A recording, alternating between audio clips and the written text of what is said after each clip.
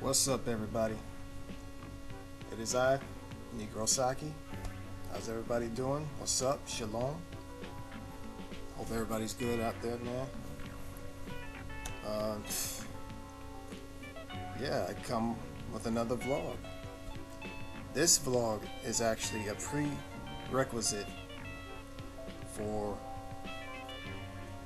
because I'm in Battle of the Beats XTE. I'm in the final four for the first time ever. Shout outs to Aces Galvin for making it to 10 of these tournaments here, 10 of these battles. I think I've been in like nine of them, eight or nine. But uh, yeah.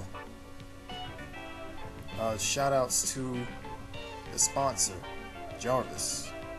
And I think his username is Tekken Tag Battle 7. If I'm not mistaken. I'm probably missing a few numbers. But shout outs to him, you know. Uh, man. So let's see what I gotta do for this video. I gotta pretty much. This is a basically a short, in a nutshell, autobiography type of thing where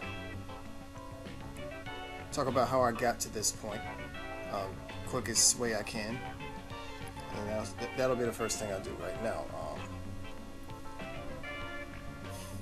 my YouTube account, it wasn't always originally to put beats up.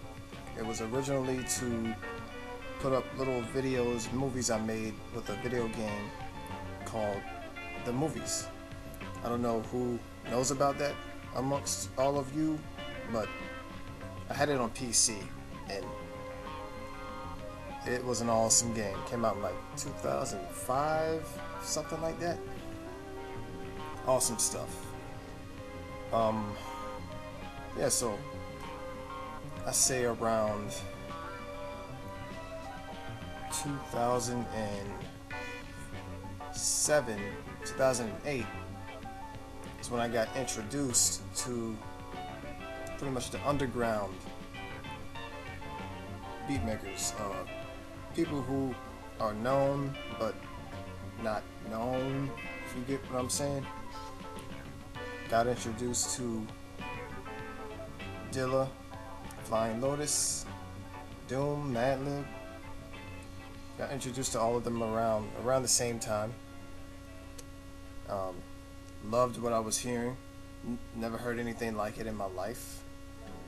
Um, I started making music in 2007 officially, but I've always been into music since I was a child.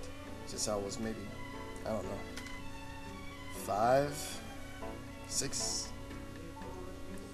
Um, I've always been able I've always been able to play notes notes from songs that I've heard by ear and I'm no professional at the keys by any means but I can recreate some things just just by hearing them a few times and that's basically how I got started um, with with the beats. Is um, in 2007, got FL Studio. Wasn't the first time using it because I used it a few years back. Fell in love with it, but didn't really do anything official with it. 2007, I started doing some remakes. I did a Papa was a Rolling Stone remake, and needless to say, family heard it family was like, "Wow, that is a that, that is really good." Parents start showing everybody. You know, you know how parents get. They start showing everybody. This is look what my son did. Parents, I, I love how encouraging my parents are. So, you know, it's awesome being in a household like that. But how I got to put my beats on YouTube is um I started seeing these little things called bumps. And first time I seen them, I was like, uh, okay, bump. What, what in the world is that? I saw a video by Marksman55, aka Planet Question. The homie with the glowing question mark. Shout outs to him. Pray everything's alright with him. Um, saw uh, someone put a video up and it said bump 55 or something like that. I'm looking, I'm like, is he talking about a bump so I'm listening. I'm like, oh snap.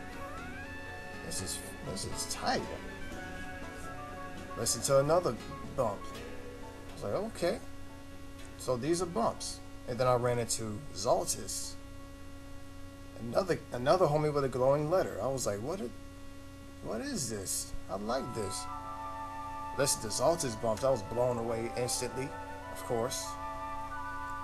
Then I ran into the rest of the crew at that time. It wasn't a whole lot of them.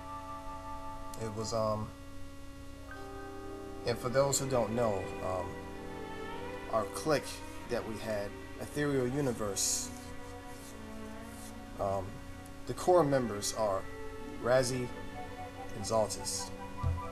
And um, the rest of us, you know, by the time I joined, I joined around 2010. And um, we were we were 21 deep, like pretty much everybody in there, 21 deep. And uh, needless to say, 2010 was an incredible year for YouTube music, for all of us. That's that's we we we took it way up there. And um, very grateful to be, to be a part of it. Um, so yeah. Uh, through um, through linking up with them, making music with them, and also coming up with two mixtapes of my own at the time, two or three. I came out with the Tekken 4 mixtape, that was my first. Came out with the Final Fantasy X mixtape, that was my second. And then third was Negrosaki Remixes the 90s. That was my third, and it just went on from there. And um, those really boosted my popularity hugely, and I was blown away by it. I was like, man. And um, my my humble thanks to everybody who stuck with me this long. It's a beautiful thing to have supportive people always behind you. So, man, you guys, you guys, thank you from the bottom and the top of my heart being a beat maker, what that means to me, it's a way of speaking without using words. And music is a powerful thing. It's a powerful thing, and you could change the world with it. You could change people's worlds with it. Um, okay, what else do I have to talk about here? My style. It's hard to put my style into words pretty much because it's something that comes from my soul and I just bring it out. And that's that. That's basically the best I can say about it. It comes from deep within my soul and I bring it out. And I really want to name my influences on YouTube, like total, like all of them, but it would be too many it'll be way too many and it'll take a two hour video to probably name them all. But uh I'll have to do a shout out vid or something like that soon. But Ethereal Universe, the group in itself is has been hugely influential to me, as well as some other cats. You know who you are, because I've pretty much come to you before and told you. But um like I said, it's a whole lot of you. Whether you, some of you, okay, some of you probably don't know, but y'all, everybody influences me some kind of way. Let's, let's put that out straight. Any, anybody who I listen to and I dig your sound, you influence me in some kind of way. I'm like a sponge when it comes to that. But what else do we have here?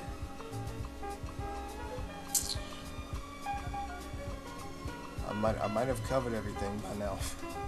But I will say though, regarding my lyrics, regarding the stuff that I rap about now, because actually, little factoid, I rapped before I made beats. And I've been rapping since I was maybe 15, 14 ish. And at the time, I, cussed a lot. Um,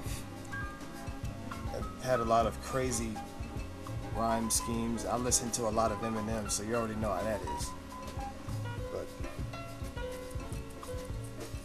at the same time, though, um, my biggest influence as far as uh, rapping, uh, Del the Funky Homosapien. His music changed. His music changed my life. So yeah, listening to his music, um, I would pretend that I was rapping sometimes, because you know how it is when I don't know how many of you do this, but you ever like a song so much that you pretend that you're the one who made it? Something like that. I did that before I made beats. Like I would hear the Tekken 4 soundtrack. When I first heard that in around 2001, 2002, and the Final Fantasy X soundtrack around the same time, I would sit there just be blown away like,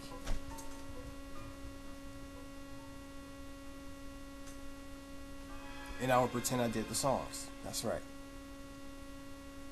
It does something to the mind because it's like it almost brings out something that you didn't think was there. But yeah, man, it's just so much more I can bring up. And I don't know how long I've been. Okay, it says 11, about 12 minutes now.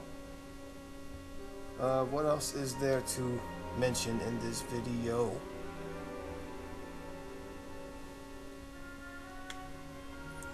Why do I do this? I honestly believe that it was put in me by the Most High Himself, Yahuwah, is the name that I call Him. Because based on the earliest Paleo Hebrew archaeological evidence and just also spiritual, just the spiritual revelation is, um, you know, that's what I call him. I call him Yahuwah. And his son I call Yahusha. And to anybody who calls him anything different, hey, it's you. I'm just speaking for myself right now. But um, I've gotten, I've definitely gotten closer to the Most High and His Son through the through the years, man. And that's that's what that's what got me to rhyme about the truth instead of just rhyming about some nonsense like we're hearing now on the radio. And just figured, hey man, you got this talent, gotta use it right.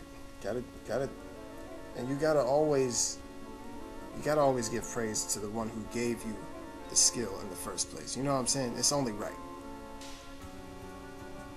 But anywho, man. What else do we got here? Might just, I think I'm gonna end the video here for now. Uh, I might do some more of these vlogs in the future.